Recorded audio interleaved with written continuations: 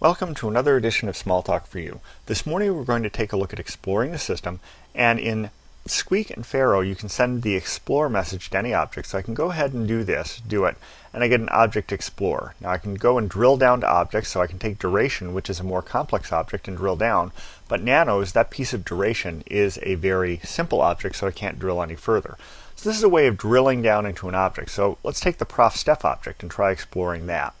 We'll do this and we'll get this object, which is a class. So you notice the ProfStef is a class, so its organization is a little more complicated than the one I just looked at.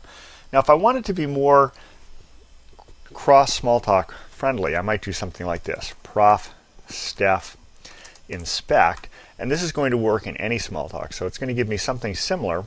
So if I do that, I should get an object inspector.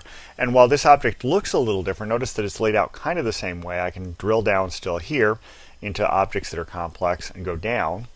And now it's collecting all the children. So you see it's a fairly complicated one. I probably shouldn't have done that. But in any case, you get a very interesting inspector. And over here I have a workspace that has some interesting documentation. It's pulled out the class comment for me.